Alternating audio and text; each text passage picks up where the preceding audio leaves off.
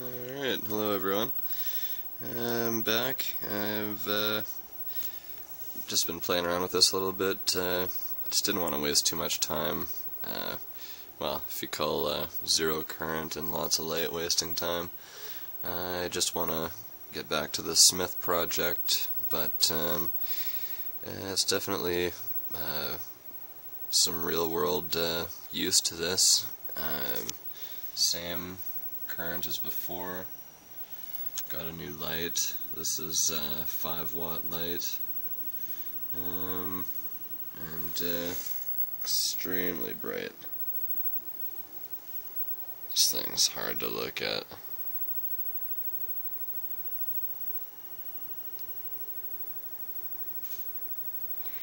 I don't think it's fully lit, but that is pretty bright. and uh, it's pretty nice to not have any current register.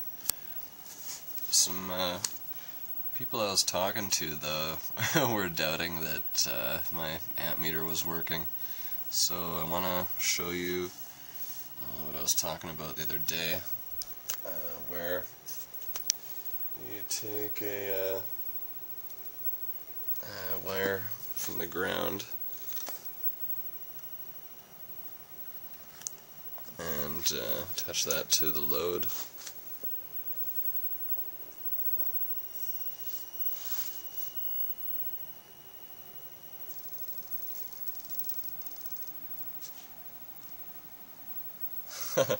Whoa.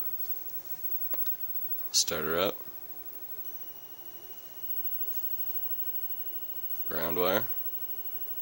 Because these are just from the left and right terminals the step down coil. Watch the amps.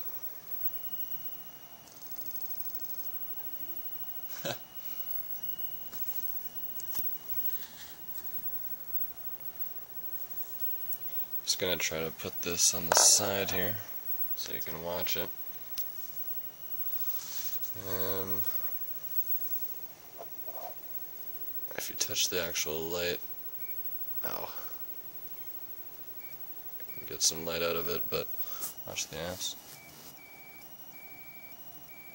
Oh, nothing. Okay, one sec. I just need another test lid. so here's our ground.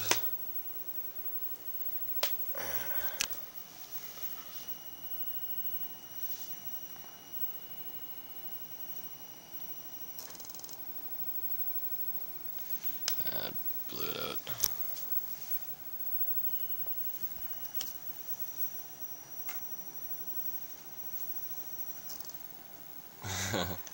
so the amp meter is working.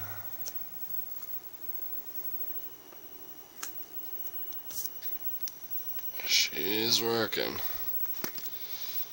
And you can add antennas like I was doing onto uh, the output terminals, but it does bring the current up, current draw up, when you do add those uh, antennas. So, um, I like to just use what's coming out of it.